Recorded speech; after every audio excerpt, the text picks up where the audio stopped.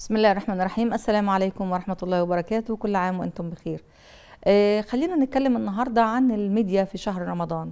إحنا آه شهر رمضان ده شهر عبادة يا جماعة. مش شهر فرجة على التلفزيون ولا على البرامج ولا على المسلسلات ولا آه على المسابقات ولا على برامج التوك شو ولا على برامج التفاهات ويعني هو خلينا كده نركز إنه ده شهر ربنا سبحانه وتعالى اداهولنا في السنة كلها علشان نتسابق فيه في العبادة. ده علشان كده كمان خللنا العشر أيام الأواخر اعتكاف. يعني حتى بيقول لو أنت مش قادر تقدر على نفسك في العشرين يوم دول اعتكف. ابعد عن الدنيا كلها واعتكف في مكان منفصل تماما علشان تبقى بينك وبين ربنا وتتعبد في العشر أيام الأواخر. اغتنم هذه الأيام. يبقى إحنا علينا في شهر رمضان لابد إن إحنا نبتعد بقدر الإمكان عن الميديا عن الهواتف المحمولة عن ال social media عن كل شيء ممكن يبعدنا عن عبادة الله سبحانه وتعالى أو يلهينا عن قراءة القرآن وعن الصيام وعن الصلاة أو يفسد علينا هذه العبادات. خلينا نركز في إن إحنا عملنا كله يبقى خالص لوجه الله ويبقى عملنا كله مكسب. يعني مش اللي إحنا بنعمله بالنهار بنضيعه بالليل. مش العبادات اللي أنا قضيتها طول اليوم الرسول صلى الله عليه وسلم بيقول لنا من لم يدع قول الزور والعمل به فليس لله حاجة في أن يدع طعامه وشرابه. يعني معنى كده إيه؟ قول الزور يعني كل عمل فاسد كل قول فاسد كل شيء سيء. يبقى اللي ما يتركش الأشياء السيئة دي هو سايب أكله وشربه ليه؟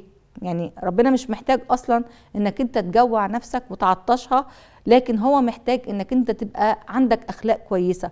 هو عايز منك إنك أنت تتعامل بصورة طيبة. إنك أنت تعرف تنتقي الطيب من الخبيث. ما, ما, ما تروحش على الخبيث وتروح تعمله وأنت سايب الطيب. أنت سايب الطعام والشراب اللي هو شيء طيب. ورايح على الخبيث اللي هو الأقوال والأفعال الفاسدة ورايح بتاكل فيها طول النهار عمال تتفرج عليها وعمال تتكلم في التليفونات وعمال تتابع السوشيال ميديا وتتابع أخبار الناس وتعلق تعليقات وما إلى ذلك. لا إحنا عايزين نحاول بقدر الإمكان في شهر رمضان إن إحنا ندرب نفسنا ونمرن نفسنا على إن إحنا نبعد تماما عن كل شيء ممكن يفسد علينا هذه المنحة الربانية اللي ربنا سبحانه وتعالى أعطاها لنا في شهر رمضان. يبقى بالنهار هنبعد عن الفرجة وعن الكلام في التليفونات الغيبة النميمة الكلام في سيرة الناس انتقاد الآخرين التعليقات تتبع الأخبار الآخرين. كل ده حاجات ما تهمناش وما تفيدناش بأي حاجة. خلينا ندور على الحاجة اللي هتفيدنا. مش الحاجة اللي هتضرنا. يبقى إحنا نبحث عن كل شيء طيب جميل ونبتعد عن كل شيء سيء. ربنا سبحانه وتعالى قال لنا في القرآن الكريم يحل لهم الطيبات ويحرم عليهم الخبائث. أي شيء طيب جميل هو حلال لينا هو ده اللي هنقرب منه في شهر رمضان.